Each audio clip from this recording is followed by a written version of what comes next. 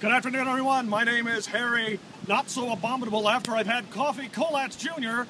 We're in Richmond, Virginia. It is 27 degrees and snowing. That's right, ladies and gentlemen. You can take some measure of fun into your Friday afternoon going to your weekend with the math of Khan. Yes, the wise heads at the Weather Channel decided to name our winter storms. So here we are, billions of snowflakes not adding up to the greater needs of one inch or more, maybe less, maybe more, probably more than an inch of snow on the ground here in Richmond, Virginia. You know, uh, retailers don't think that Khan is much of a bloodsucker because many people are in panic mode or going places to buy stuff, and others will gather at their neighborhood establishments to grouse about the weather and complain.